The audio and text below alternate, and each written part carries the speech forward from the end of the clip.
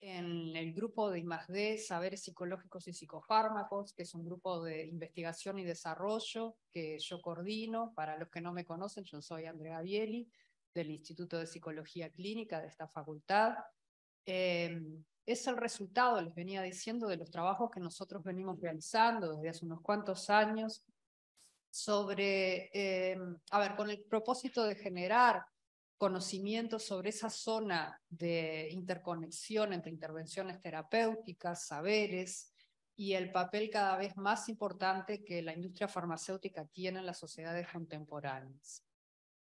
En el día de hoy lo que nos proponemos es contribuir a la visibilización desde una perspectiva crítica de las diferentes experiencias contemporáneas de uso de psicofármacos y su relación específicamente con el padecimiento psíquico que creo que este, seguramente a muchos nos interesa que podamos pensar desde aquí, desde este punto, porque en verdad eh, el campo de estas experiencias de usos de, psicofármacos viene siendo estudiado desde hace un buen tiempo ya, desde diferentes perspectivas, ya sea la, la, perspectiva de los estudios sociales de la ciencia o la perspectiva de la antropología médica, la sociología médica, pero queremos rescatar hoy para trabajarlo con ustedes esta cuestión de subjetividad, dolencias, malestar y psicofármacos. Em, evidentemente, eh, esta, esta temática en sí mismo no solo va a convocar a los saberes psicológicos desde los cuales participamos la mayoría de los que estamos acá, sino también este, interesa que podamos enriquecernos con perspectivas desde otras disciplinas. Así que en el día de hoy vamos a estar trabajando con colegas que desde hace ya un tiempo estamos compartiendo diferentes espacios, ¿sí? que son parte del grupo de estudios sociales de fármacos y diagnósticos del Instituto de Investigación Gino Germani de la Facultad de Ciencias Sociales de la UBA, ¿sí? coordinado por Eugenia Bianchi, que la tenemos este, en pantalla en estos momentos. Y también va a participar este, en el día de hoy Esteban Gripaldi, que es miembro del grupo que les acabo de nombrar. Y él es de, perteneciente a la Universidad Nacional del Litoral, integrante de, este grupo que les decía. Eh, estaba previsto que hoy estuviera María Anafole de nuestra casa de estudios, pero lamentablemente por cuestiones personales no va a poder participar. Y sí vamos a tener la intervención de Pilar Bachi, compañera del grupo de saberes eh, sí y psicofármacos de I+D que coordino. Y la idea es que podamos tener un intercambio de ida y vuelta, en, la medida de lo que la tecnología nos permite. ¿sí? Eh, entonces, vamos a estar escuchando las presentaciones de Eugenia, de Esteban y, y de Pilar. Este, cuando finalicemos quizás realice algunas puntualizaciones, pero no, no muchas, porque tampoco quiero monopolizar la palabra, y luego abriremos al diálogo entre todos. ¿ah? Mi idea, a ver si están de acuerdo lo que nos están viendo por, por Zoom, como son ustedes los que están por Zoom, quizás podríamos empezar por Eugenia, luego Esteban, cerramos con este Pilar, y, y bueno, y luego la, el intercambio entre todos. Este, veamos a ver si podemos dar paso. Eugenia, ¿vas a presentar algún PPT o alguna imagen? Sí, entonces creo que ya, ya tenés esa posibilidad. Pero. Bueno, no sé si ah, me animé a abrir el micrófono, no sé si se escucha bien. Perfecto. bárbaro. Bueno, muchas gracias. Sí, ahora eh, habilito para compartir un, PowerPoint eh, y quería abrir este, esta, esta comunicación agradeciéndoles tanto Andrea como a Pilar y en representación de ellas a todo el grupo de I+D, también a la universidad por convocarnos tanto a Esteban como a mí. Eh, coincido totalmente con lo que están planteando, la posibilidad de establecer algunos diálogos e intercambios en espacios como este, con, como vos misma también lo planteabas, Andrea, con eh, el paraguas de pensar subjetividad, dolencias, malestares y psicofármacos, pensarlos en relación a la clínica y también más allá de la clínica. Así que buenísimo y ojalá resulte de interés eh, esta, esta presentación que voy a pasar a compartir y desde ya les aclaro que para acompañar los, los, tiempos y, poder eh, hacer un genuino intercambio, voy a estar lo más sintética posible a sabiendas que no va, no voy a poder ahondar en muchas cuestiones, pero simplemente presentar algunas, eh, algunas líneas y algunas, algunas ideas. ¿sí? Voy a compartir entonces la pantalla, si me permite. Ahí, em, compartir. Acá estamos. Ahí espero que se vea. Pantalla completa. Ahí estamos, ¿no? Buenísimo. Bueno, de lo que voy a conversar en estos minutos que, disponemos para presentar es acerca de los diagnósticos y los fármacos eh, en relación a salud mental, pero pensando en algunos aportes que tienen que ver con las investigaciones que se realizan también desde las ciencias sociales. ¿sí? En esa línea voy a presentar algunos elementos, no todos, no extensamente, de tres investigaciones que realizamos el último tiempo con distintas colegas que ahora voy a, comentar, precisamente acerca de estas temáticas, ¿no? de los fármacos y de los diagnósticos con abordajes que vienen o que tienen que ver con las ciencias sociales. Y acá les traigo algunos elementos, como les digo, ni siquiera los voy a, a mencionar a todos. En principio son todas investigaciones bastante recientes. Hay una que se publicó en 2019, otra en 2021 y otra en 2023 en distintas revistas, una en la revista Salud y Sociedad, en la revista Cuestiones de Sociología y en la revista de Estudios Feministas. ¿Con quiénes lo compartimos a estas presentaciones? Eh, sigo siempre del mismo orden, ¿no? Con Stephanie Rodríguez Jurado, como parte de lo que fue su investigación de maestría, aquí en la Universidad de Buenos Aires, con Camila Seijas y Ana Clara Fiamberti, que también presentaron algunos resultados en este artículo como parte de sus investigaciones de grado, y con Macarena Sabin Paz, quien también, eh, este, en este caso en la Universidad de Lanús, presentó eh, su investigación doctoral en salud mental comunitaria. Acá están los títulos, hay matices, algunos tienen más foco en la cuestión del tiempo, en los cuidados, de, en las cuestiones eh, vinculadas a los diagnósticos, a los fármacos, y tenemos, como vamos a ver, diferentes puntos de mira que van girando, pero que tienen algunas cuestiones en común. ¿Qué tienen en común estos trabajos, más allá de sus diferencias? Que hay, como les decía, un foco puesto en la cuestión de la salud mental en relación a ciertos diagnósticos y al uso de ciertos psicofármacos, y también en relación a las, a las lecturas, a las visiones, a los sentidos, en algunos casos a los estereotipos, que circulan en relación a las cuestiones de salud mental y también a las ideas de maternidad y en algunos casos a, las ideas de mujer.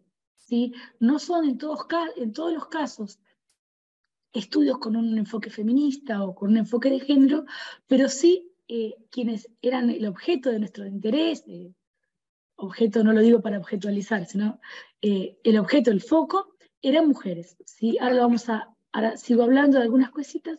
Em, sin adentrarme demasiado, les comento que la primera investigación tuvo que ver con analizar eh, dinámicas familiares, percepción y organización del tiempo en las familias de niños, niñas o adolescentes que tuvieran algún diagnóstico relacionado con el trastorno del espectro autista.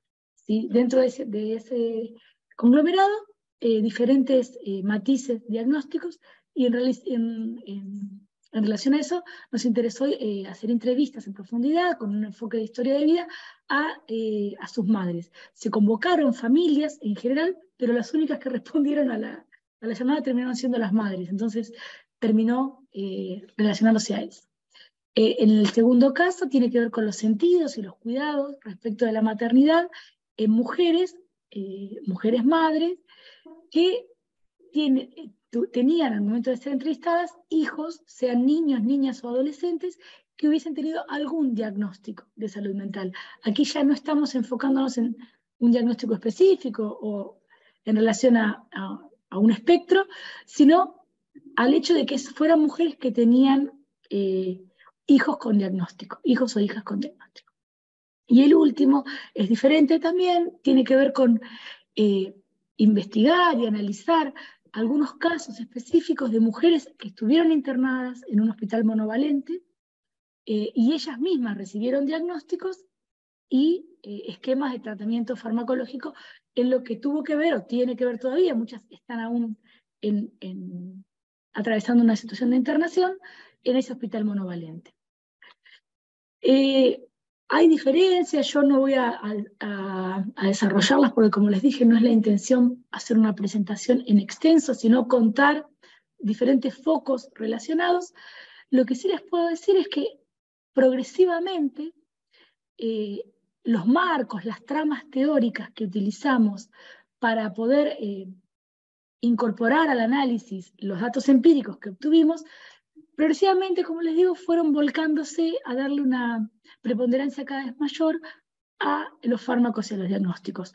En, todos los casos se armaron tramas eh, lo suficientemente matizadas y, y, diversas en términos teóricos y de perspectivas que, digo, lo suficientemente matizadas y diversas para acompañar esos matices y esa diversidad de los hallazgos que íbamos encontrando.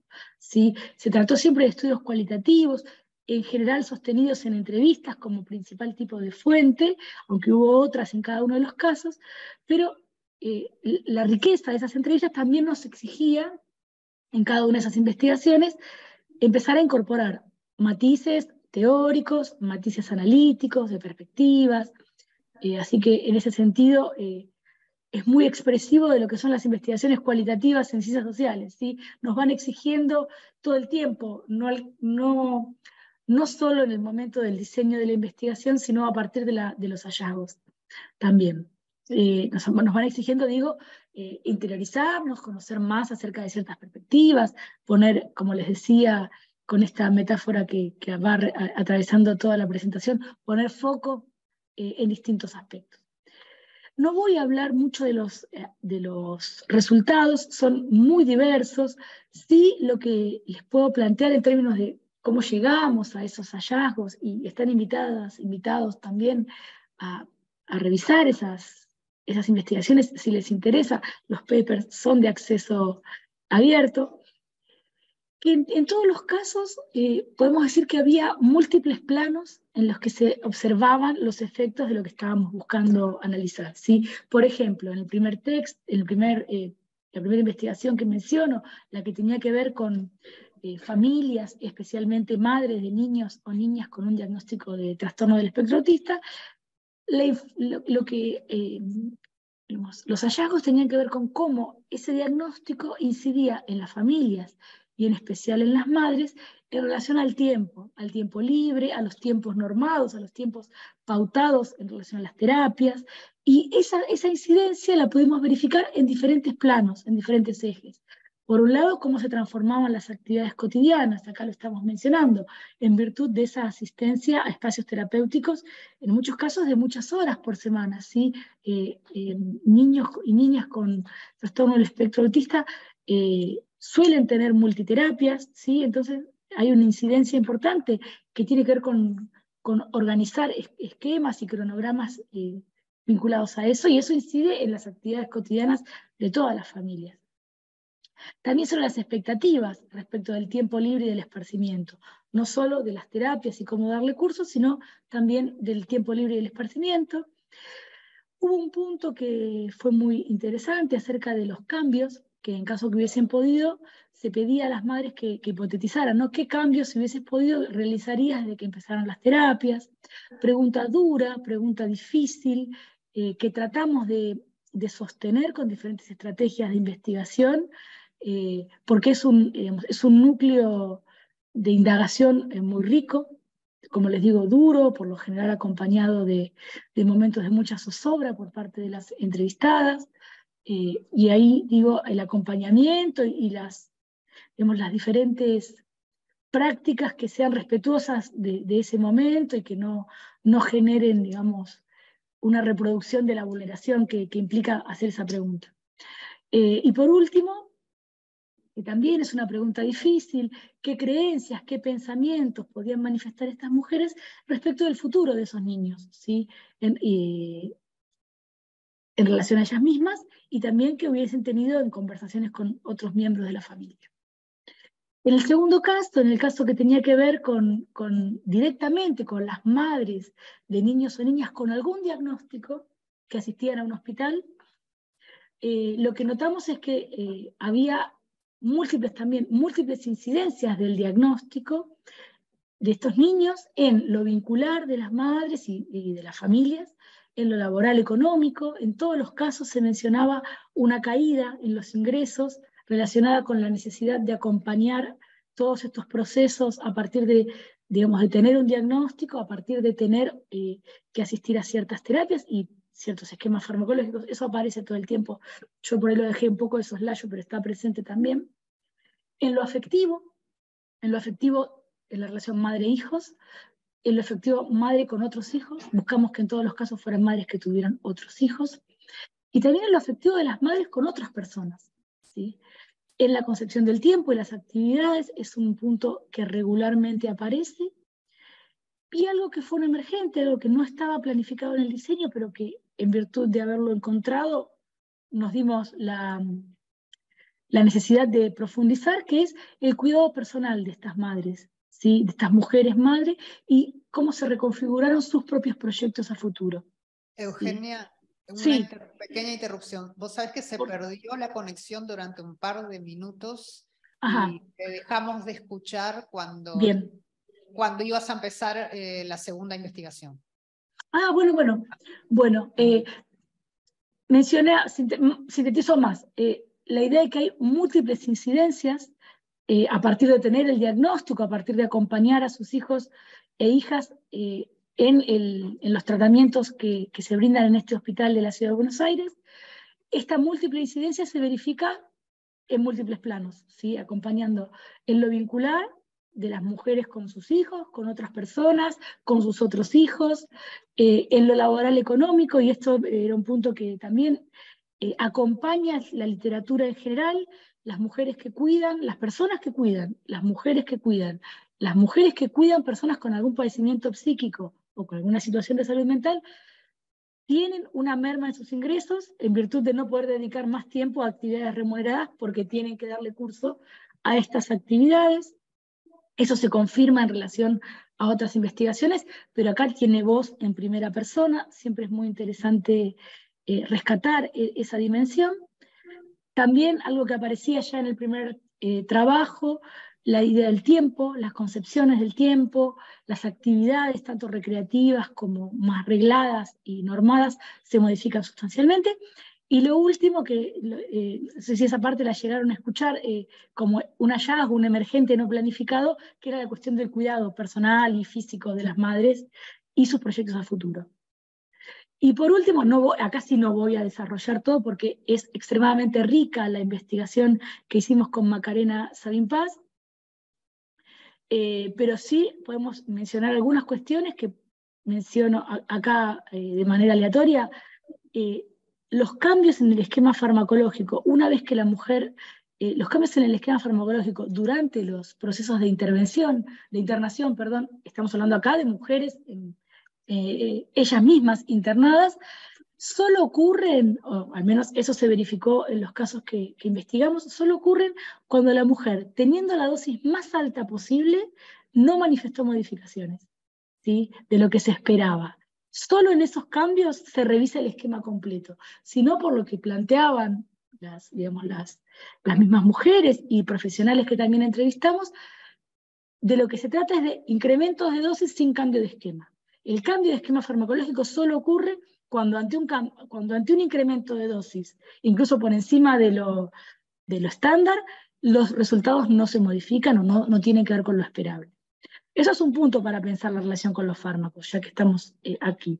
Eh, después hay otros elementos y yo quiero destacar eh, esta cuestión, la desvalorización de la palabra de las mujeres, tanto por parte de sus propias familias como por parte de algunos equipos profesionales, no todos, e incluso el descreimiento del padecimiento psíquico que están teniendo bajo figuras como la exageración, la simulación o esta idea de que hay un interés adicional pero encubierto en hacerse las locas, digamos, ¿no? en, actuar esas situaciones.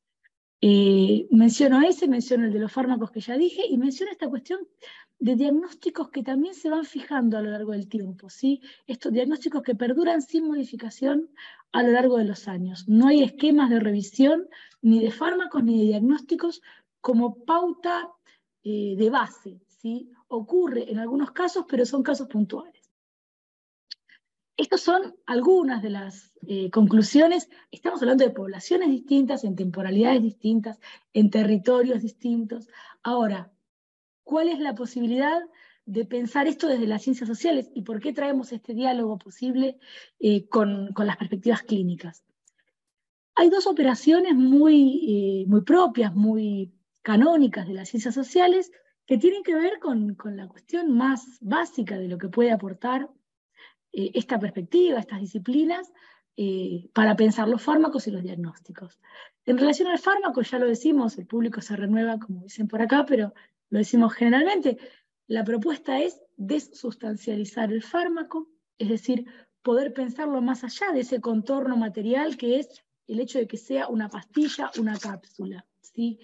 Es, por el contrario, pensar abordajes relacionales. El fármaco en relación con las personas que lo, que lo están utilizando, en relación con las personas que lo indican, que lo prescriben, en relación con las personas que están alrededor y que acompañan de distinta manera a quienes reciben esos fármacos.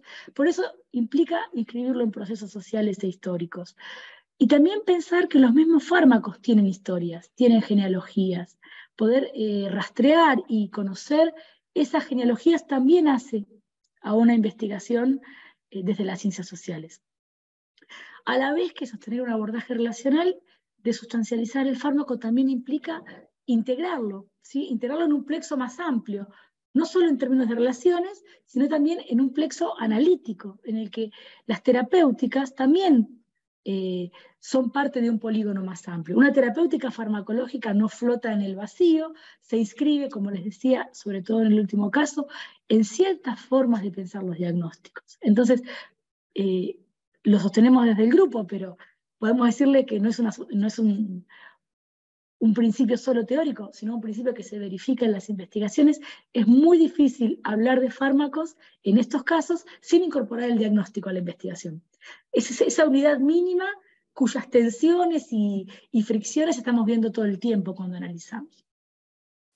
Y en esta cuestión de pensar relacionalmente, de integrarlo en un plexo analítico con más elementos, también hay una, hay una operación que, implica reconocer los saberes, reconocer que estos saberes, sean legos o sean expertos, tienen un rol central. Legitiman argumentos, legitiman opciones terapéuticas, legitiman ciertas tecnologías o las deslegitiman. ¿sí? Y contribuyen en todo este vaivén de legitimación y deslegitimación a configurar ciertas subjetividades. ¿sí? Entonces, esto es lo que puede aportar en relación al fármaco, entre otras muchas cuestiones, un abordaje desde las ciencias sociales. Y con respecto al diagnóstico, así como la propuesta es de, sustancializar el fármaco, aquí hablamos de descentrar el diagnóstico. ¿sí? También son movimientos para no pensarlos fijos, para no pensarlos aislados, deshistorizados, inmutables. Partimos de algo que lo hemos conversado en otros espacios, eh, de discusión que tenemos. El diagnóstico es una categoría, es una clasificación, es, un, digamos, una nomenclatura o, se inscribe en un sistema de nomenclaturas, pero también es un proceso. Y pensar estos estudios que tienen que ver con, con captar historias de vida, narrativas, Esteban es especialista en todo esto y cuando él hable eh, seguramente va, va, a poder aportar muchísimo más, pero digo, poder pensar a los diagnósticos inscritos en procesos, también nos habilita a pensar esas biografías de esas subjetividades. Y la relación que tienen con esos diagnósticos, desde que no lo tenían, desde que no lo conocían, una vez que lo conocieron, en relación a, cómo se va derivando esto que mencionábamos también hacia el final, los cambios o no de esquemas diagnósticos, de consideraciones de un diagnóstico. Eh, y lo, otro, y ya con esto cierro, también descentrar el diagnóstico implica pensar un análisis en el que el diagnóstico no está solamente circunscrito al individuo que lo recibe o al experto o el ego o la sociedad, si queremos decirlo de manera más imprecisa, eh, estima o imputa sobre ese individuo. El diagnóstico tiene una dimensión social que es ineludible, porque es un proceso, porque es un proceso social e histórico, hay una dimensión social del diagnóstico, que es en la que nosotros podemos aportar. Eh, te escucho, me pareció que querían decir algo. ¿No? Bueno, en, relación a estas dos cuestiones, a la desustancialización del fármaco y al descentramiento del diagnóstico, es que traemos esta posibilidad de diálogo a partir de estas investigaciones que les decía. Y quería dejar, eh, esto lo voy a dejar porque lo, mencioné antes, y quería dejar algún comentario en primera persona de estas mujeres. Me hago referencia a la segunda, a la segunda investigación, a mujeres madre de niños con diagnóstico, niños, niñas o adolescentes que han participado o que están atravesando eh, un tratamiento en un hospital monovalente especializado. Laura es el nombre que le dimos. Le preguntábamos qué hace, qué, cosas que no hace le gustaría hacer. Y dice, no hago ninguna actividad y tendría que hacer. Yo andaba mucho en bicicleta, pero él, el, el hijo, él la, vendió la bicicleta por droga, vendió el plasma, la play, yo trabajaba con internación domiciliaria. Yo iba a la casa de los pacientes y manejaba mis horarios, viste, que era bárbaro. ¿Y por qué hoy no lo podrías hacer? Es la pregunta. Y porque lo tengo que traer a Alejo, también es un nombre de fantasía. Lo tengo que traer a Alejo acá. Yo lo traigo acá y me tengo que ir a un paciente a congreso, ponele. Yo no puedo estar corriendo apurada. Me complica el paciente. Lo tengo que volver a bañar y no tengo tiempo porque tengo que venir a buscarlo a Alejo aparte Alejo no puede estar solo, no lo puedo dejar solo. Entonces no puedo trabajar. Y si hoy pudieras elegir alguna actividad, aparte de bicicleta, ¿elegirías algo? A mí me gusta recitar poemas. Así como aparece esta cuestión en esta madre, había otra mujer que quería eh, empezar boxeo, otra quería ir al endocrinólogo, otra quería estudiar trabajo social. O sea, los proyectos existen, tienen que ser atravesados por este tamiz de la plausibilidad y cómo colisiona con el hecho de tener que acompañar a un niño, niña o, adolescente que, eh, que está atravesando una situación de salud mental. Este es uno de los, de los extractos que quería traer. Y el último, que se relaciona más con la cuestión de psicofármacos, Dina, una paciente internada, digo, es el tercer, la tercera investigación, una persona internada en un monovalente eh, para mujeres en la provincia de Buenos Aires, acá en Argentina, 36 años, dice, no quiero tomar pastillas, no quiero tomar para vivir, quiero vivir un poco más de mi vida sin tener que estar tan dopada respecto a la medicación. Me la fueron cambiando, ahora me la dan solo en la tarde, porque me chorreaba la baba. Y Cristina, de 56, que menciona cómo fue que ingresó al hospital, dice, fue una internación voluntaria. Yo estaba muy deprimida, sin trabajo, llena de deudas. No me hablo con mi hija, que es víctima de violencia de género. Denuncié al tipo y no me habló más. Mi hija mayor es adicta. Todo eso se me detonó. Me tomé unas cuantas pastillas, pero no me quería morir. Solo toqué fondo. Digo, acá podemos habilitar un montón de análisis de las relaciones, de las complejas relaciones que hay con los fármacos, ¿sí? Y cómo eh, podemos integrarlo en un montón de funciones que vienen a cumplir y que no solamente tienen que ver con cuestiones de terapia, ¿sí? en términos de terapéutica orientada a un alivio sintomático. ¿sí? Eh, yo no quiero tomar más tiempo en la exposición, les agradezco eh, y de vuelta, las los invito a que si quieren conocer los, los papers completos, están disponibles, esto va a quedar eh, también disponible para que lo compartamos y con todo gusto me, me, aboco ahora a escuchar a, a, mi colega y querido amigo Esteban y al resto de las presentaciones para que podamos hacer un intercambio luego. Gracias.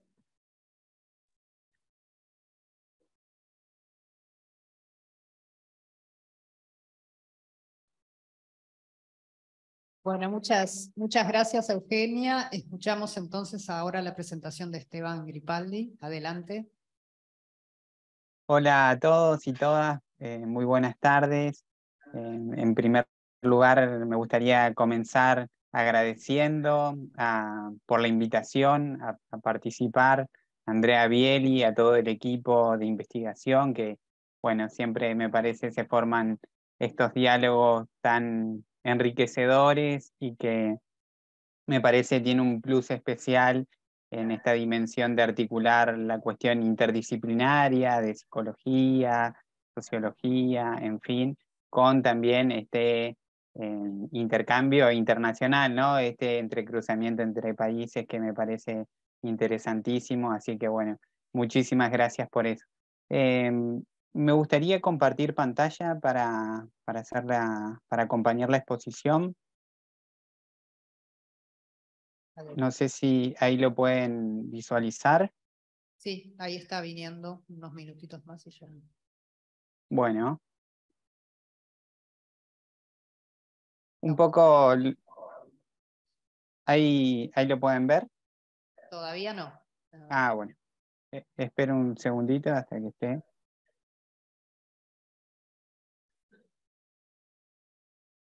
Un poco lo que quería compartir, presentar eh, en esta tarde, tiene que ver con, con una investigación en curso que va, está trabajando sobre los significados, los usos de los antidepresivos en usuarios, usuarias de redes sociales, ¿no? en particular hoy de eh, grupos de Facebook.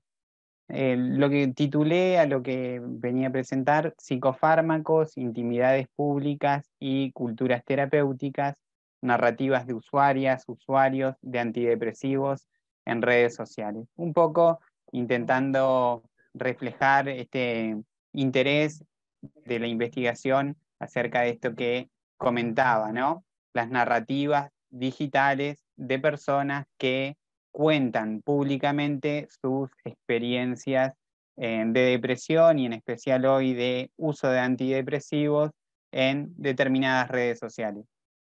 En particular, quiero trabajar en una parte específica de la investigación que es esto.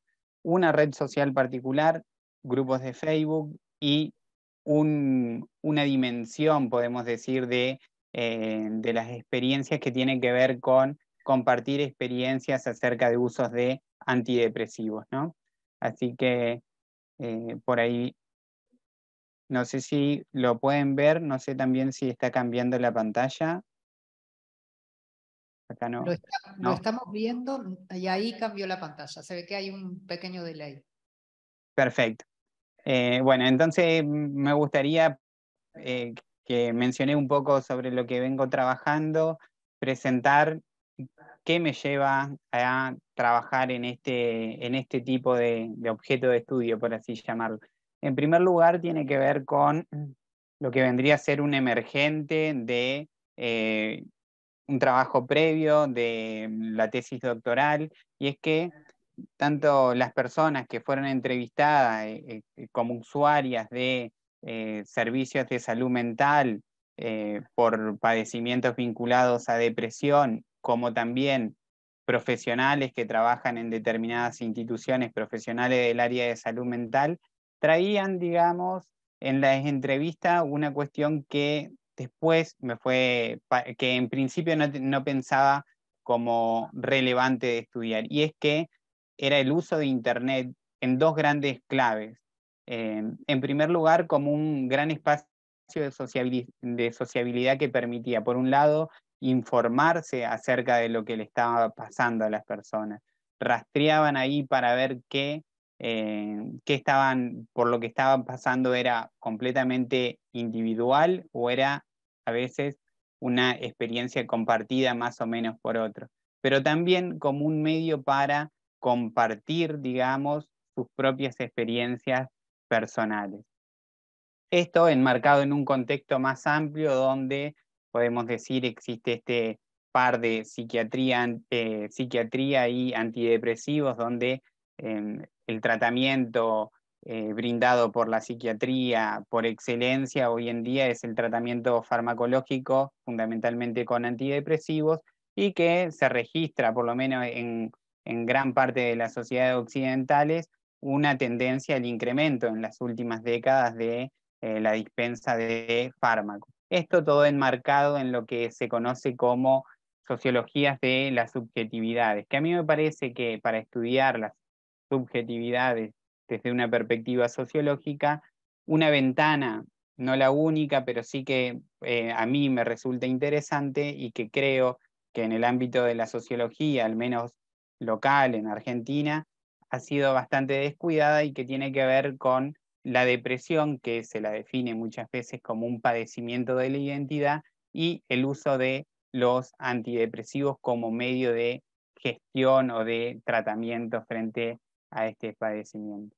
En términos generales, un poco lo que quiero trabajar, las preguntas que orientan la presentación tienen que ver con cuáles son las narrativas digitales en cuanto a los usos y los significados sobre los antidepresivos que circulan en un grupo en particular de eh, Facebook. Y em, vinculado a esto es eh, en los relatos biográficos cómo inciden los antidepresivos en las biografías de las personas. Mm, e-, estoy pensando conceptualmente, por así decirlo, los psicofármacos, los fármacos y en especial los antidepresivos, siguiendo a, Eugenia Bianchi, a sus trabajos, como una arena de conflicto, ¿no? ¿Qué, vendría a ser esto? Es pensarlo, un poco lo mencionaba mucho mejor recién, pero pensarlo en una clave histórica, lo que son los usos de los fármacos. Y en esto que existen múltiples actores, dispositivos, saberes que se entrecruzan, que tienen intereses distintos y que, repito, varían en ese vínculo de fuerzas históricamente. Entre eso podemos destacar que hay saberes, digamos, expertos, saberes con autoridad que tienen capacidad para prescribir fármacos, eh, investigaciones basadas en o que pretenden eh, producir conocimiento de tipo objetivo, científico, etcétera, pero eh, también en paralelo está lo que Martín Correa Urquiza, un antropólogo español, llama los saberes profanos, es decir, saberes que se están fundando, fundamentando, por así decir, en la propia experiencia personal. Entonces, la validez no es tanto su conocimiento objetivo, imparcial, como lo requiere eh, idealmente el conocimiento científico, sino que la validez reposa en haber vivido esa experiencia. Históricamente hay una concepción de que cada vez los saberes expertos que han tenido una relación de jerarquía y lo sigue habiendo en relación a los saberes profanos o de las experiencias, empiezan a eh, dar cierta legitimidad o se empieza a colar cierto uso de los saberes de experiencia como modo de fundamentar, digamos, esto, estas prácticas, ¿no? Eh, o los usos de los antidepresivos. Y esto, este proceso, este cambio, digamos, que es ambivalente, que seguramente quiere, adquiere particularidad en diferentes regiones, se enmarca en lo que varios autores ya vienen describiendo como la ampliación de culturas terapéuticas. Estoy hablando ¿no? de eh, Ferrudi, estoy hablando de eh, Eva y Luz, Papalini en Argentina, que vienen a sostener la ampliación de eh, un sentido común que habla de prácticas terapéuticas, que maneja, digamos, un discurso más o menos del ámbito, en términos muy generales, sí, ¿no? De la psicología, psiquiatría, etcétera, etcétera, ¿no? En paralelo a esto, o lo que posibilita esto es la ampliación de las redes sociales, de Internet, que hace lo que Plummer llama un crecimiento de las intimidades públicas, es decir, contar experiencias íntimas en espacios públicos y eh, esto habilita, lo que Conrad también habla, una, el pasaje de unas experiencias de enfermedad exclusivamente privada a experiencias de padecimiento cada vez más pública. Es en este marco donde a mí la pregunta que hacía recién me parece que adquiere como un particular sentido. ¿no? ¿Cómo lo trabajo? Lo trabajo a partir de una estrategia metodológica que en términos generales podemos describir como del método biográfico en su versión de relatos de vida. Básicamente, lo que a mí me interesa son los discursos que manejan las personas sobre su biografía. Pero con esto me interesa señalar que no me interesa intentar conocer objetivamente las biografías de estas personas, sino mucho más me interesa conocer los discursos o las maneras que tienen de interpretar sus biografías. Y con eso en paralelo podemos decir sus valoraciones, moralizaciones, etcétera, etcétera. esto se ensambla, este método biográfico se ensambla con una etnografía digital o con determinados aspectos que consiste en estar diariamente buscando esos discursos biográficos y analizando qué función adquiere, digamos, en, bueno, eh, hoy en lo que voy a hablar, particularmente en grupos de Facebook, ¿no?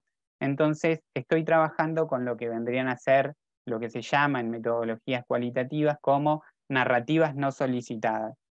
Es decir, no son narrativas producidas con el acompañamiento de eh, la persona que investiga, sino que ya están ahí, digamos, disponibles públicamente para cualquiera. Por eso, por otro lado, se dice que son naturalistas, ¿no? Forman parte del campo en el que se insertan, sí, y no están alteradas por la presencia del investigador.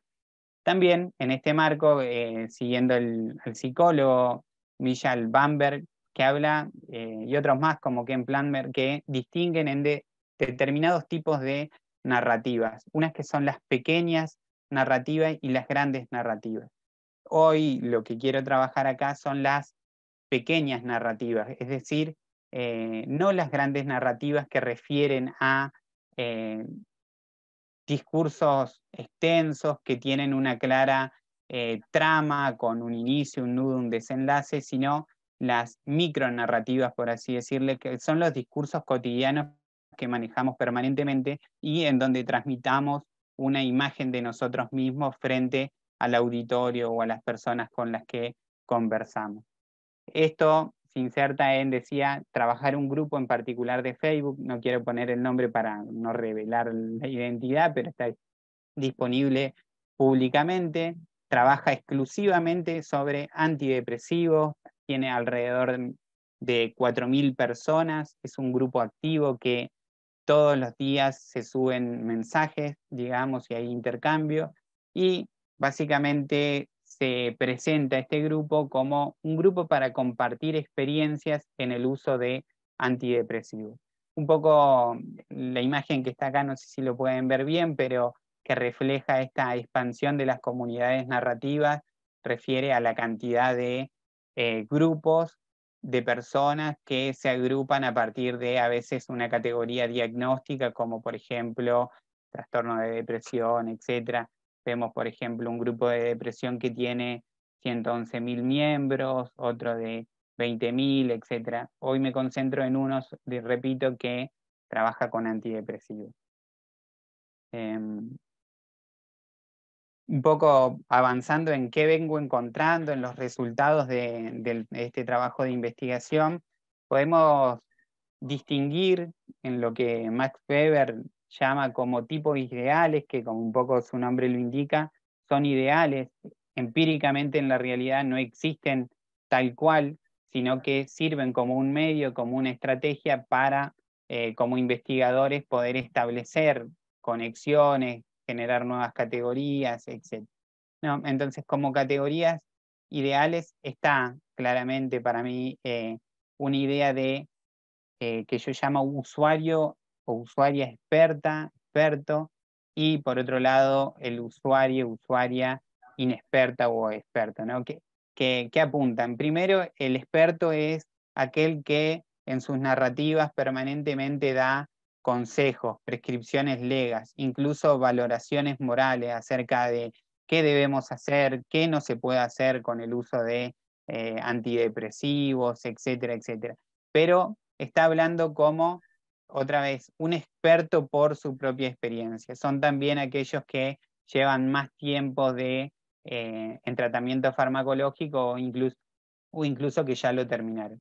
Por otro lado, en el otro polo opuesto, que a veces nunca aparece tan idealmente, decimos, está el usuario inexperto, que es ese que básicamente entra y hace una, un breve comentario de su experiencia para ahí dar pie a la pregunta. Su, es una narrativa de duda, que no sabe qué hacer y va a ese espacio para encontrar experiencias, ¿no? Eso por un lado. Por otro lado tenemos otra distinción, otro arco, podemos decir, polar de tipos que encontramos, que tiene que ver con lo que yo llamo el pro-antidepresivo y el anti-antidepresivo. ¿no? El, el pro, el pro antidepresivo es aquel que reivindica y que sostiene que en su versión más extrema el antidepresivo le cambió la vida, lo salvó, lo sacó adelante, etc. En cambio, el anti-antidepresivo, también en su versión más ideal extrema, es aquel que aparece como denunciando a los psicofármacos como algo que han tenido eh, consecuencias completamente perjudiciales en su vida y que también de ahí deriva es en, el fracaso, digamos, de eh, el fármaco como un medio terapéutico, ¿no? Eh, esto, como decía, nunca aparece en sus versiones tan extremas, sino que cuando analizamos los relatos, vemos cómo en general se entrecruzan y agarran esos cuadrantes, por así decir, grises, donde las personas toman relatos bastante ambivalentes, donde dicen el antidepresivo me ayuda, pero hasta cierto punto no me ayudó, pero voy a probar con otro, etcétera, etcétera, ¿no? Eh, me interesa resaltar eso. Generalmente estas versiones más extremas aparecen, pero aparecen eh, con poca frecuencia, por así decirlo. ¿Qué otras cuestiones aparecen eh, también en, el análisis de, este grupo, en particular de Facebook? Es que eh, el uso de la red social como un medio para buscar información. Básicamente esto, buscar información de lo que hablábamos al principio. No sé lo que me está pasando o no sé si puedo hacer determinada cosa con el antidepresivo y busco por ese lado. Muchas preguntas aparecen. ¿Puedo tomar, eh, estoy tomando determinada cantidad de antidepresivos?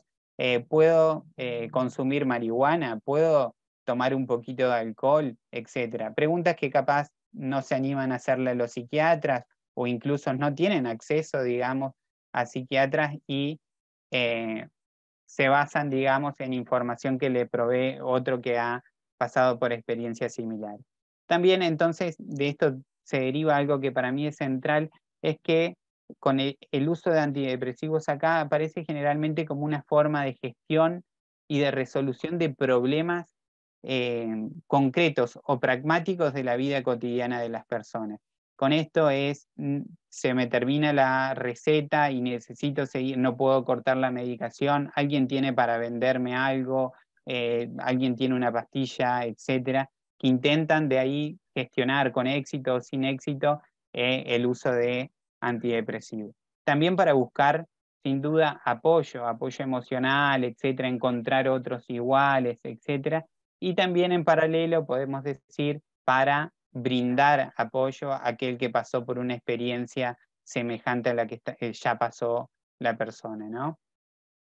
Entonces se trata de poder compartir experiencia y saberes y por otro lado, esto que dentro de la bibliografía aparece mucho, formar una comunidad de iguales, donde se habla todos, idealmente al menos, en igualdad de jerarquía, ¿no? en, la, la identidad que genera a veces tener una em, etiqueta diagnóstica, si se quiere, o no necesaria, no necesariamente, pero sí que eh, los reúne a todos por compartir experiencia o ser usuarios de antidepresivos.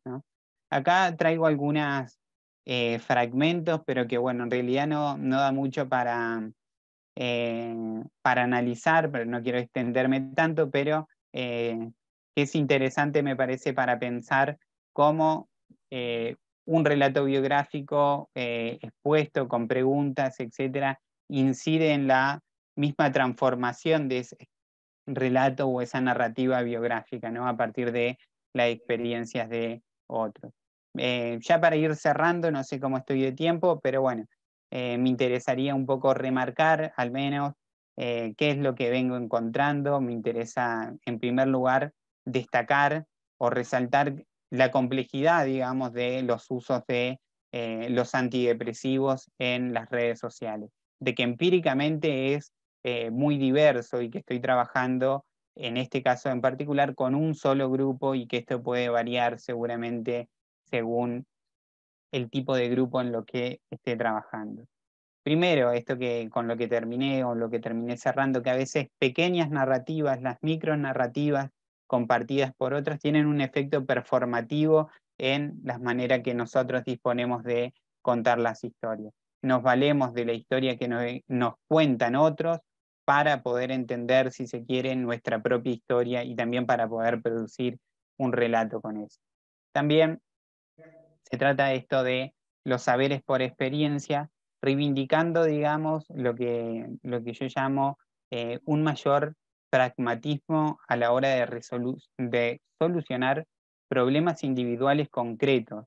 Y con esto, em, por ahí difiero de otras investigaciones que encuentran o eh, destacan eh, muy positivamente los saberes profanos como eh, una dimensión que permite una crítica a la psiquiatría, etcétera, sino que, bueno, simplemente acá lo que aparece es la experiencia personal para poder solucionar problemas concretos, esto que, decía recién, no tengo los antidepresivos, ¿cómo hago para conseguirlo? Lo intento gestionar en el grupo, etcétera, sin tener una visión más general acerca de la industria farmacéutica, etcétera, ¿no? Em, también en especial me, interesa resaltar en comparación con otros grupos que vengo estudiando de, eh, de personas reunidas por depresión, no por antidepresivos, es que acá aparece mucho más búsqueda de información, compartir información con otros, etcétera, dudas acerca de qué hacer y qué no hacer, que buscar apoyo emocional. En los otros grupos de depresión aparece claramente discursos muy directos, no estás solo, acá te acompañamos, acá te ayudamos, nosotros pasamos por eso. Acá no, principalmente es búsqueda de información. También aparece esto que eh, llamaba como una, derivado de esto del pragmatismo, como una intracomunidad digital. ¿Por qué digo esto de intracomunidad digital? Porque es una comunidad que opera, que funciona para bien, para mal, cada uno tendrá sus valoraciones, pero que eh, no se expande o no pretende salir para hacer actividades por fuera, intervenir públicamente, etc. ¿no? Se reduce a compartir mensajes ahí a diferencia de otras, ¿no? Por supuesto. Y eh, un punto que me interesa como destacar, ya para ir cerrando, es que eh, en esta ambivalencia de qué hace este tipo de comunidad, cómo funciona, etcétera, me, interesa resaltar en esto también de, lo que hablábamos hoy de las culturas terapéuticas, que se encuentran como visiones eh, incluso a veces opuestas, que hay veces que hay discursos que cuestionan y otras que claramente promueven perspectivas alternativas, digamos, al conocimiento médico y a lo que, bueno, ampliamente se conoce como la medicalización de los problemas humanos. Ahí a lo último menciono, pongo unas fotos, no sé si lo alcanzan a ver, que, bueno, son básicamente un poco de narrativas públicas, narrativas donde establecen un cierto enlace entre eh, el tipo de sociedad que tenemos y eh, el uso de antidepresivo o la manera de entender eh, la depresión. A mí me parece interesante, digamos, destacar que, bueno, y interesante también para seguir investigando de qué pasa que en estos grupos no existe algo así como este tipo de discursos que podemos decir los padecimientos subjetivos sirven para politizar, digamos, el malestar, como está en estas claves de eh, las narrativas públicas que, circulan en algunos espacios. Así que bueno, básicamente era eso lo que quería compartir. Espero no haberme pasado con el tiempo. Y bueno, eh, muchísimas gracias por, por escucharme y seguimos atentos al intercambio.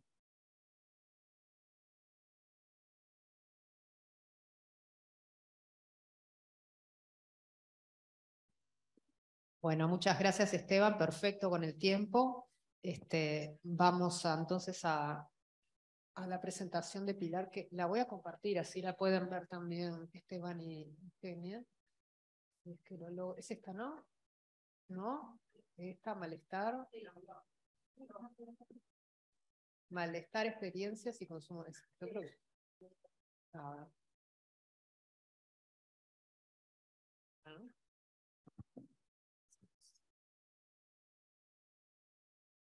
Bueno, buenas tardes. Antes que nada, quiero agradecer a mis compañeros que me delegaron la posibilidad de plantear esta, esta ponencia.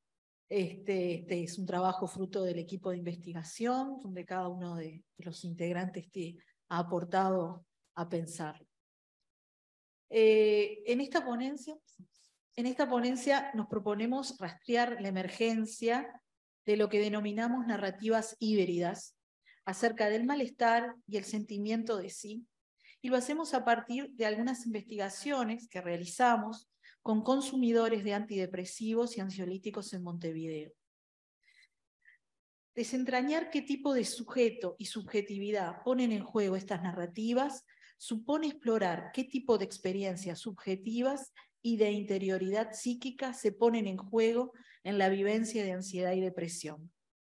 Entendemos por narrativas híbridas aquellas que apelan al mismo tiempo a modelos explicativos diversos y a veces contrapuestos del malestar psíquico y de la noción de sí. El rasgo más notorio de estas narrativas es el papel central que vamos a ver tiene, el, por ejemplo, en, este, en estos tiempos, el cerebro y los datos científicos producidos por las neurociencias, que permean nociones como las del sí mismo, la personalidad y la subjetividad.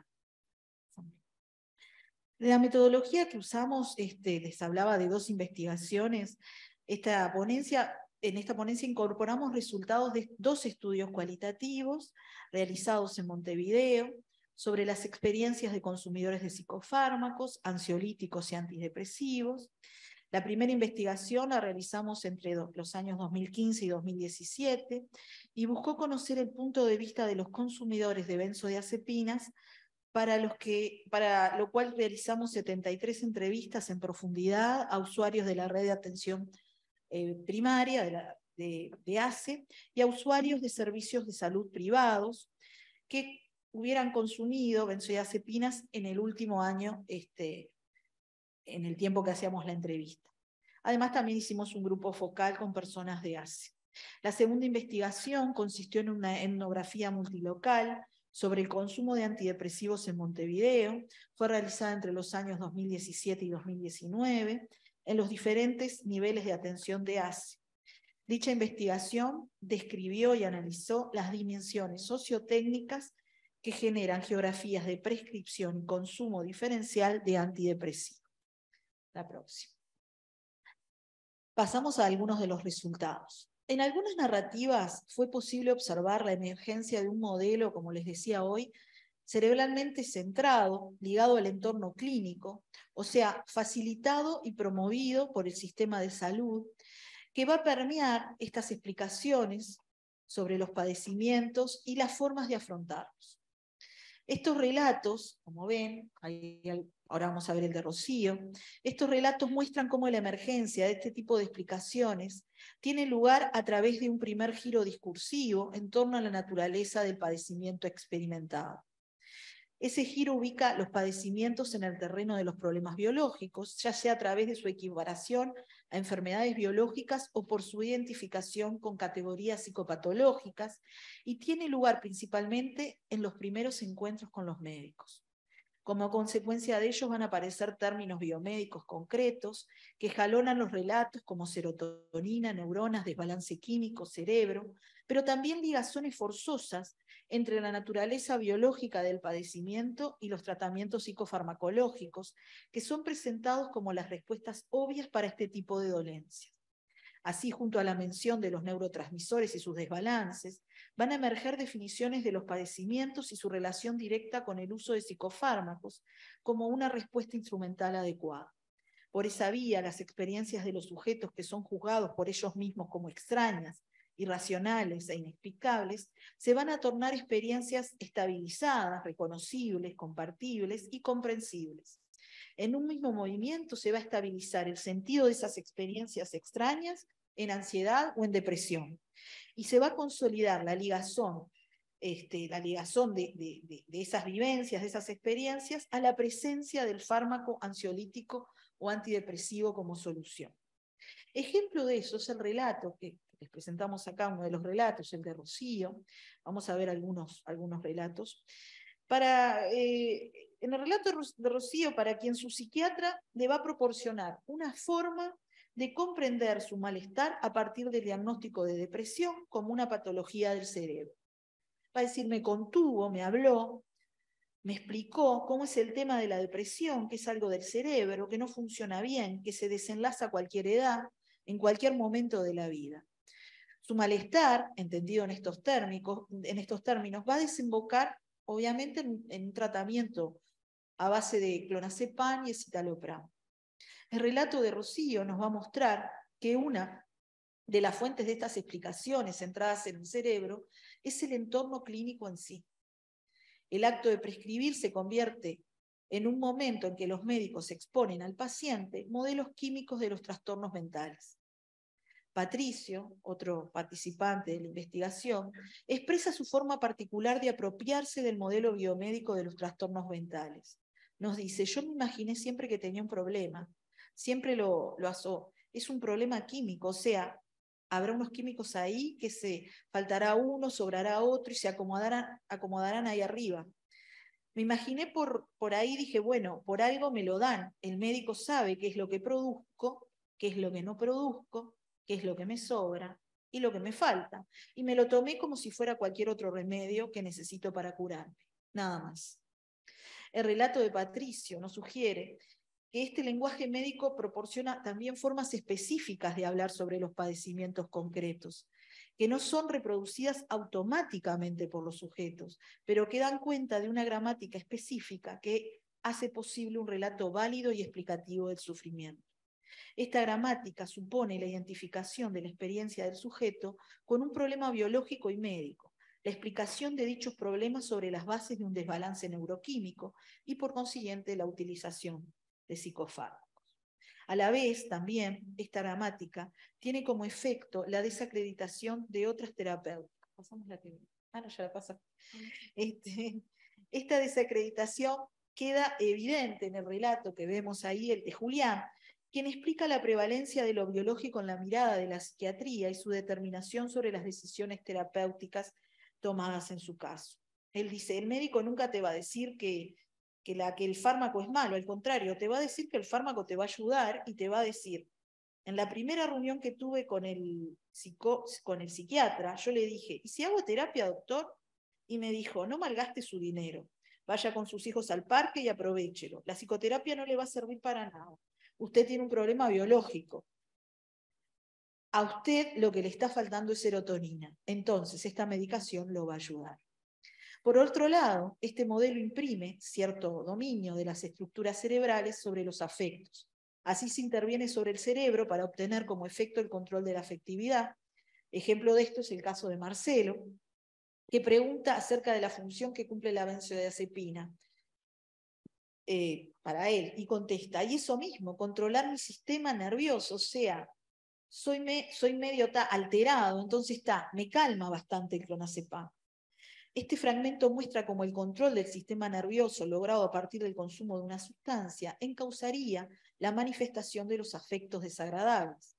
A la vez, esa misma función de controlar el sistema nervioso se convierte en una idea más o menos general acerca de la función de las benzodiazepinas, trascendiendo el caso singular.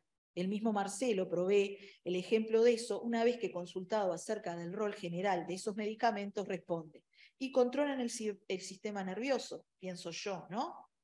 Así las explicaciones bioquímicas recubren fenómenos de alteración, desbalance y descontrol, ya sea entendidos como un desbalance de neurotransmisores, como un desbalance y descontrol de las emociones, del sistema nervioso, o de una cabeza que piensa demasiado. Los entrevistados parecen medirse en relación a una forma ideal de ser ellos mismos, que ubica como valor central de la subjetividad la posibilidad de concebirse como sujetos capaces de control.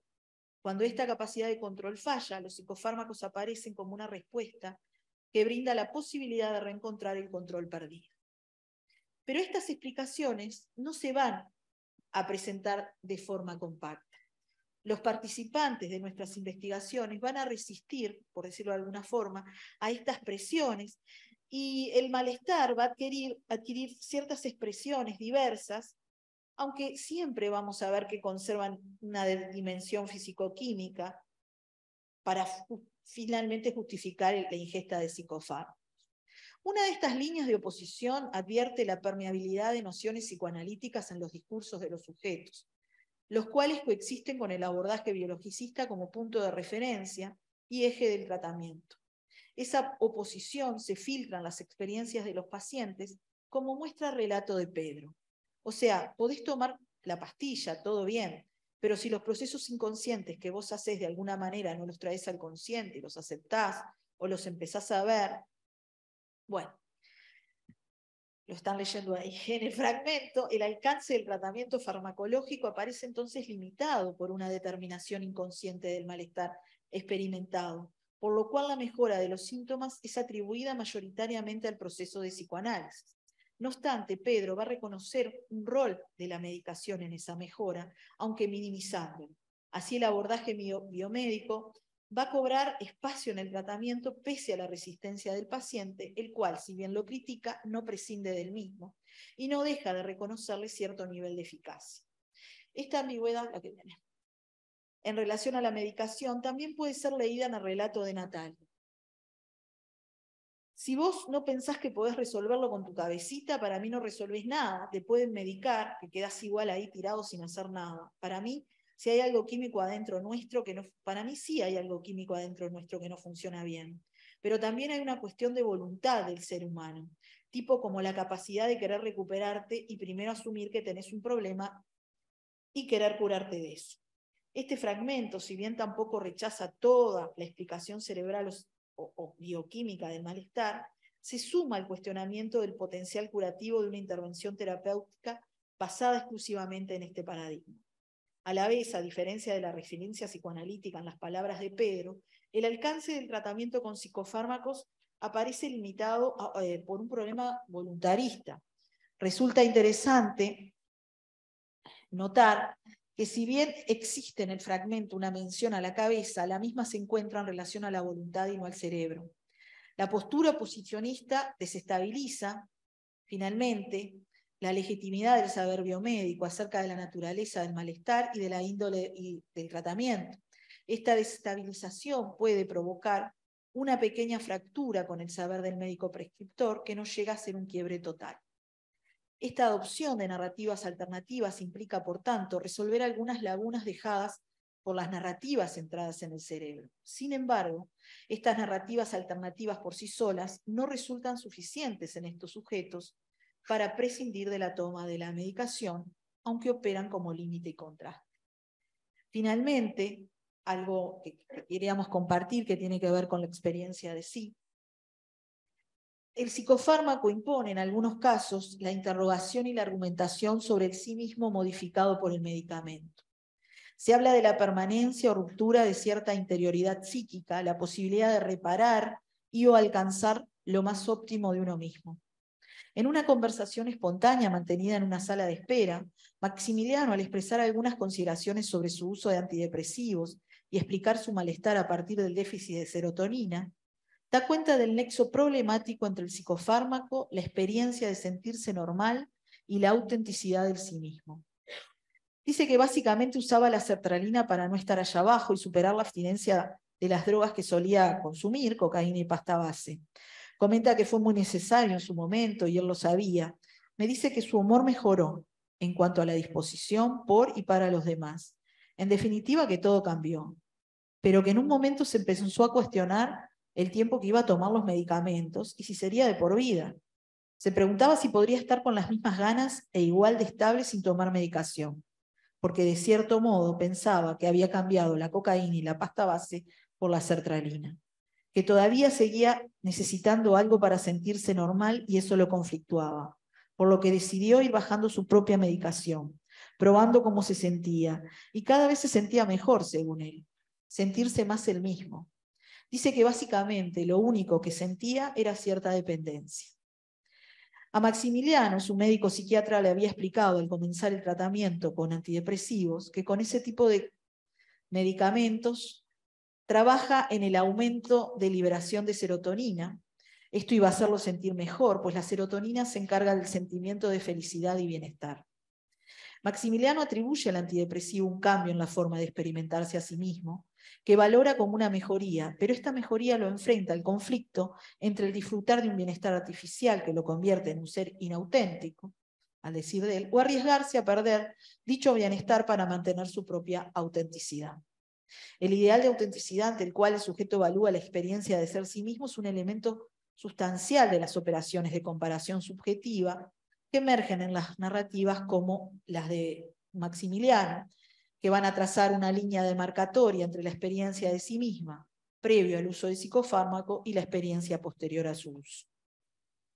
Otras narrativas prescinden de la diferenciación entre un antes y después del uso del psicofármaco y colocan la cuestión de la experiencia del sí mismo en relación a la finalidad del medicamento. Finalidad que en última instancia es la propia transformación del sujeto en relación a sí. Al respecto, Emilia cuenta que ese día, ah, ese día conoció al doctor X, que la atendió sin número cuando le dijo a la enfermera que tenía problemas del corazón. Empezó de cero. Ahora solo toma una pastilla para la presión y una para sentirse bien consigo misma. Y puede dormir. Le pregunto si le dio un remedio para dormir y me dice que no, que es para sentirse bien consigo misma. Y para que no le afecten tanto las cosas, y por eso puede dormir. En este caso, el fármaco, más que restablecer un estado de bienestar preexistente, restablece una forma placentera e ideal de la experiencia del sujeto consigo mismo. Pero ya sea enfrentando el sujeto al dilema de la autenticidad o inautenticidad, como en el caso de Maximiliano, o posibilitando al sujeto recuperar una cierta experiencia de sí, como en el caso de Emilia, ese sí mismo ofrece un límite, pues no es equiparable al cerebro, no es equiparable el cerebro al sujeto. La experiencia del sí mismo es sobre todo la sede de una experiencia singular, no ubicable en el órgano cerebral ni en la experiencia que se tiene de este. En este sentido, el discurso de la neurociencia, con su acento en el cerebro, tendría un éxito parcial en la definición y caracterización del psiquismo. Este se observa en las narrativas de los entrevistados, quienes, al mismo tiempo que recurren al lenguaje cerebralizado en funcionamiento de los neurotransmisores como forma de dar cuenta de sus padecimientos, Consideran otros argumentos explicativos, como vimos, para su malestar, vinculados al reconocimiento de sus particularidades psíquicas. Así, el fundamento de sus dolencias no se ascribe unívocamente a una perspectiva. En este sentido, la transformación promovida por la ingesta del fármaco se va a engarzar a la pregunta por el sí mismo. El sujeto es quien era antes del uso del fármaco o quien es después. El sí mismo aparece como una esencia originaria que no encuentra futuro sino, si no se encuentra futuro, sino que es como algo a rescatar, a recuperar. Las narrativas recabadas, y ya termino, formulan una variedad de experiencias contrapuestas en las que la autenticidad puede perderse debido a la intervención farmacológica o puede recuperarse debido al mismo tiempo de intervención, perdón, al mismo tipo de intervención, permaneciendo en ambos casos como una aspiración central de los sujetos. Como hemos visto, los consumidores de benzodiazepinas y antidepresivos en los consumidores de benzodiazepinas y antidepresivos, el encuentro con el discurso de las neurociencias va a impulsar la emergencia de narrativas acerca del padecimiento psíquico, vertebradas a partir del cerebro y de la versión biomédica de su funcionamiento. Estas narrativas se construyen a partir de términos específicos, como vimos, que suelen ser tomados del encuentro clínico entre médicos y pacientes tomados prestados. Las mismas este, emergen fundamentalmente cuando se intenta hablar de los padecimientos y de los medicamentos. Son índices de la presencia de una gramática que vincula la relación entre los trastornos psiquiátricos y los psicofármacos, a la vez que estabiliza las experiencias psicológicas de extrañeza y descontrol a través de la categorización psicopatológica. La capacidad del discurso de las neurociencias de hacer del cerebro una entidad a través de la cual comprender nuestro funcionamiento íntimo, emocional y psicológico, compele a los sujetos a realizar esfuerzos narrativos que concilien toda una serie de experiencias ambiguas asociadas a los diagnósticos de ansiedad y depresión y a sus tratamientos psicofarmacológicos. De este modo, un mismo sujeto es capaz de adoptar y resistir al mismo tiempo las versiones cerebralmente centradas del padecimiento subjetivo. Muchas gracias.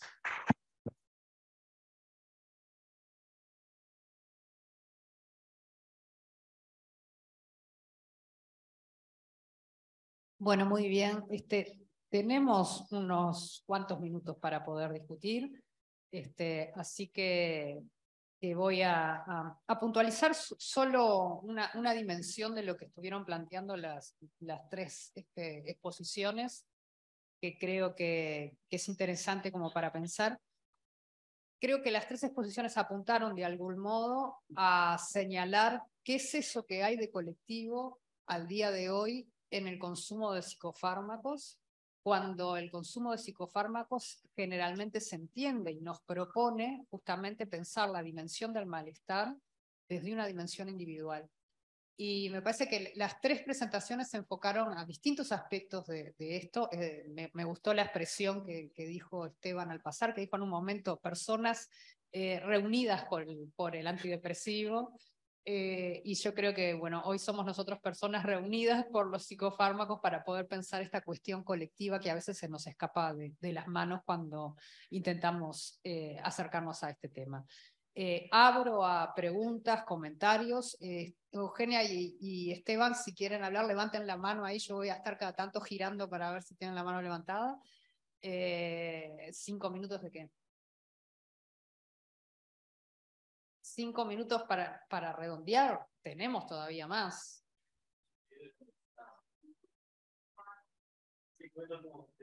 Cinco minutos como extensión cuando nos sacaron 15 del yo peleo, vieron que soy peleadora, nos sacaron 15 minutos de la, presentación anterior y a mí me dan cinco. Mm. Bueno, sí. Sí, este. Sí, me declaro rebeldía. Eh, nada, abro a, aquellos que quieran hacer preguntas, comentarios.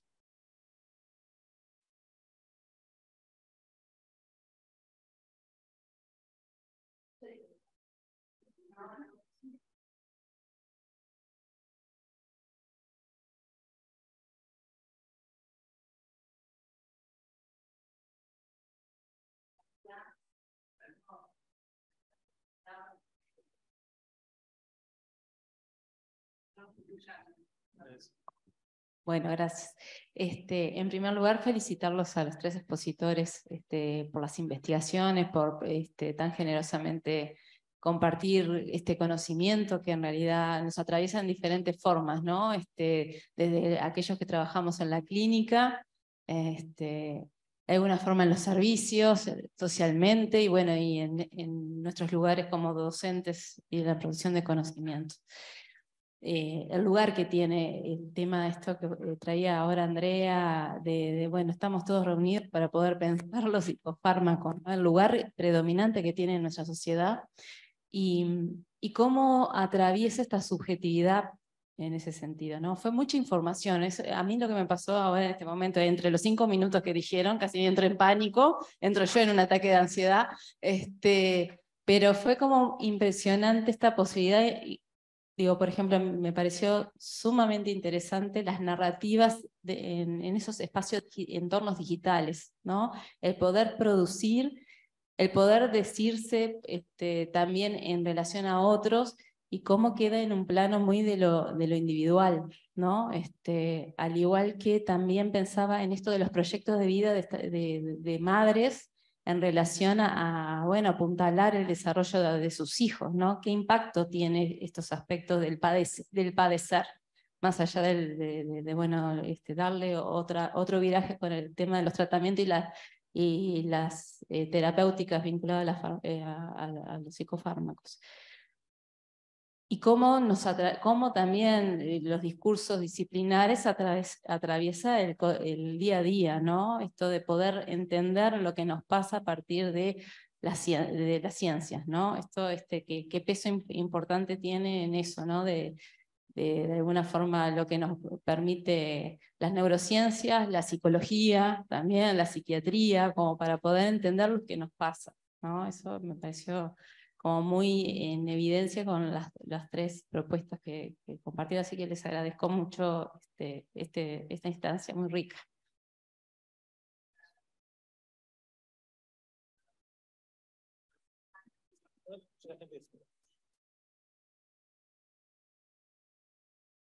Bueno, eh, me pone bastante nervioso la situación del micrófono. Este, en verdad es, es bastante breve pero es una reflexión, primero que nada, excelentes las tres presentaciones, eso quería también destacarlo. Eh, y es acerca de, la idea de, control, ¿no? de, cómo desde la psiquiatría se ha logrado de alguna manera este, imponer eso que quizás nosotros podemos llamar este, adormecimiento, embotamiento, este, asociado al control. Este, nada, era sencillamente eso.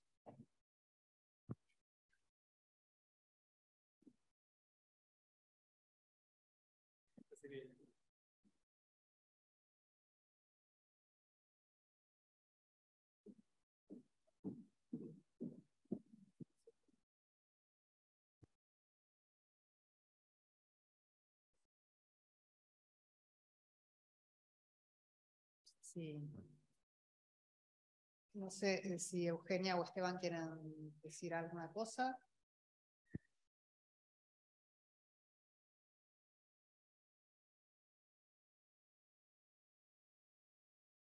Sí, sí, sí. Adelante. Yo, bueno, agradecer las, eh, los comentarios, las devoluciones que nos han realizado y, volver a insistir sobre esta excelente oportunidad que tenemos, ¿no? De seguir profundizando en los intercambios, en, las actividades, em, en torno a reflexiones, a, apuestas también en común, ¿sí?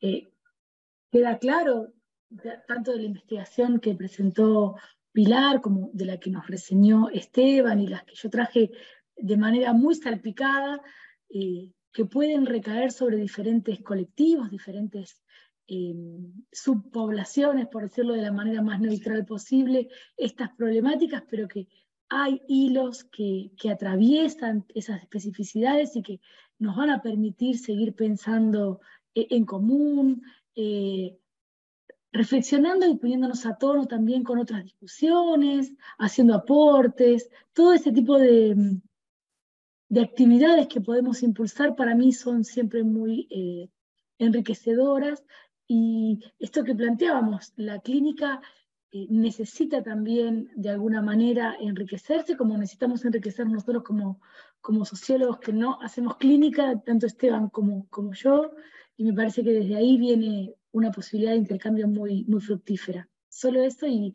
de vuelta agradecerles ¿no? a todos es una audiencia muy numerosa para lo que estamos acostumbrados. Muchas gracias. Gracias. Eh, hay otra intervención por allá, pero antes me dejas pasar un, pequeño comentario con lo que decía recién Eugenia de la cuestión de, cómo iluminar la clínica a partir de, la sociología.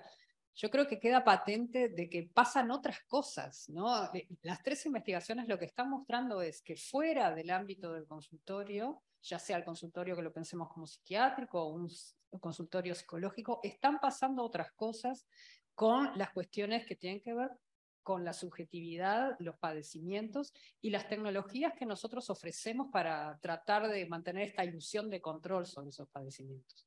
Entonces yo creo que esa es una de, las principales cuestiones, o sea, no nos cree, o sea, no creemos que todo está dentro de, de lo que nosotros encontramos dentro del consultorio. Santiago.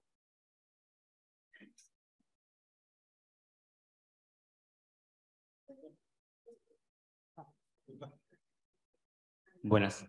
No, simplemente eh, eh, eh, me parece bien interesante esta cuestión, digamos, de...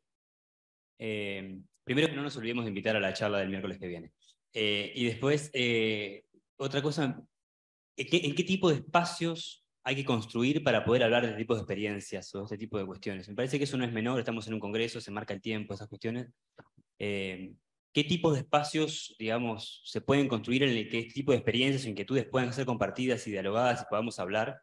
Yo cuando escuchaba las presentaciones vi mucho cuchicheo, digamos, ¿no? Mucho cuchicheo, ese tipo que me da la sensación de tenemos mucho para decir sobre estos asuntos, digamos, ¿no? Y no solamente como investigadores, sino también seguramente en nuestras vidas más supuestamente íntimas, digamos, ¿no?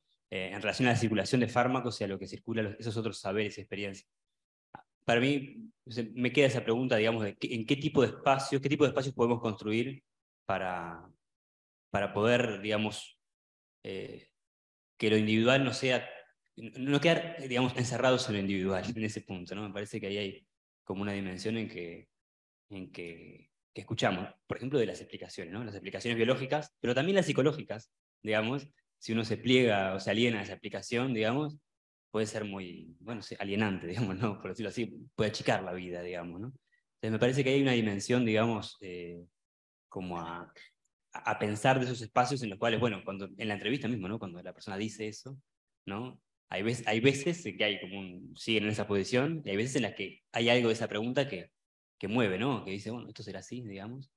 Eh, no sé, ¿qué espacios armamos? Me parece que ahí hay como, como un asunto para, para ver qué podemos inventar. Ah, la invitación, eh, no sé, a ver si, capaz que ustedes tienen, yo tengo acá los, datos más claros, pero capaz que siga la conversación antes de que cerremos, hacemos la, la invitación para el miércoles. Hola, buenas tardes. Buenas felicitaciones y gracias a los compañeros por compartir sus investigaciones. Quería preguntar, me llamó mucho la atención este, la síntesis del fármaco como la posibilidad de este, sentirse bien con uno mismo.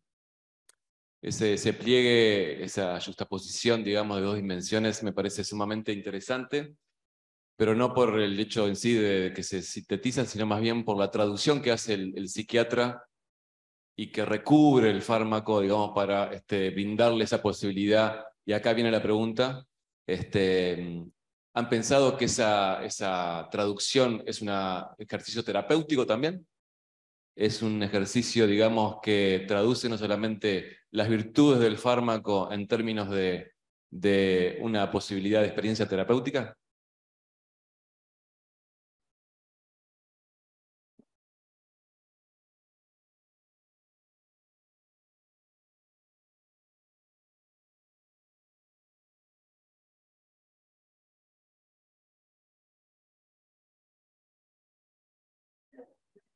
Acá le iba a soplar la respuesta a Pilar y mejor que la diga yo. Eh, eh, me hace acordar eh, tu pregunta a lo que relata Stefan X, que es un, antropólogo este, alemán que se fue a estudiar cómo es que se consumen los antidepresivos en la India, qué pasa con eso.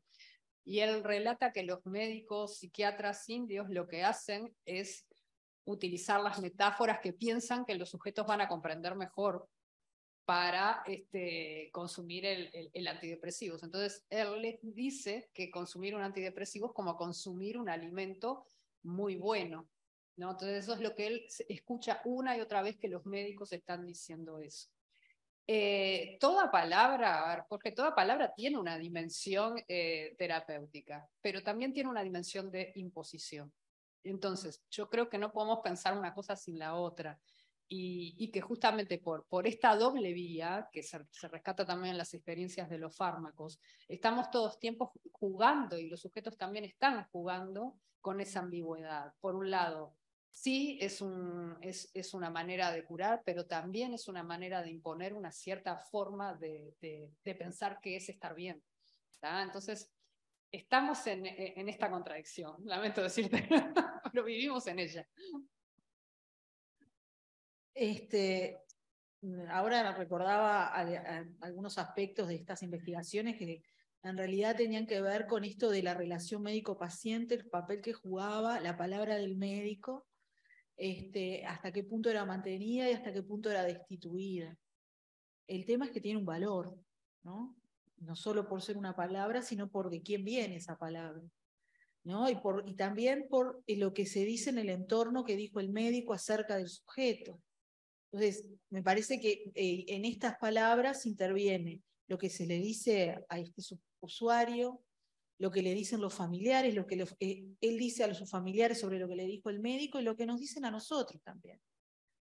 Este, y eso me resulta interesante poder pensar esos circuitos. A veces no tienen nada que ver con, lo que eh, el médico, también hemos entrevistado médicos, también nos dicen cómo dicen las cosas, este, a veces es peor de lo que uno imagina, a veces no tanto. Y me resulta este, interesante poder pensar eso, cómo circula la palabra en relación al psicofármaco. ¿no? En, uno de los estudios, en realidad lo que hicimos era este, en, la etnografía eh, perseguir el objeto receta, ¿no? Y, lo que se decía en relación a ese objeto, por los diferentes, este, digamos, protagonistas de, bueno, de la investigación, ¿no? Las personas que estaban en la sala de espera, el químico, el médico, el acompañante, nosotros mismos, este, y el valor que, que, tenía cada una de, de esas palabras con respecto al usuario o al que finalmente tenía que terminar consumiendo ese psicofármaco.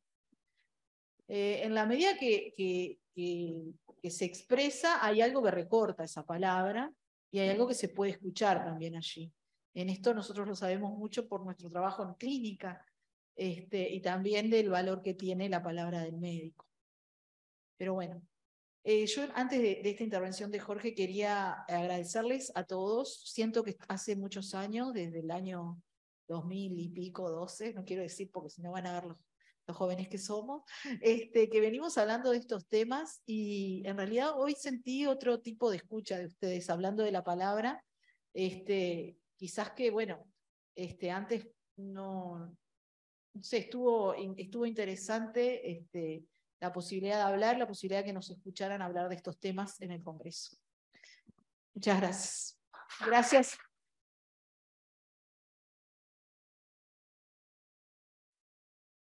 Los vamos a dejar irse a, ver si rescatan algo del break, algún café.